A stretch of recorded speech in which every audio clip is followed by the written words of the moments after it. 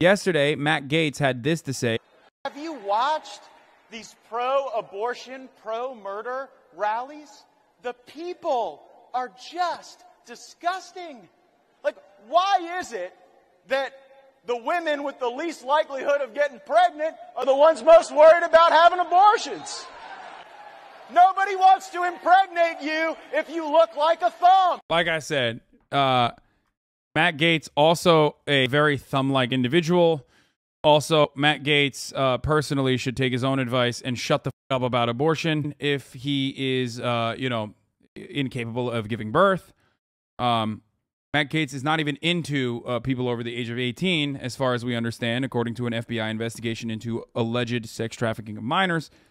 So Matt Gaetz should just shut up in general, but he won't.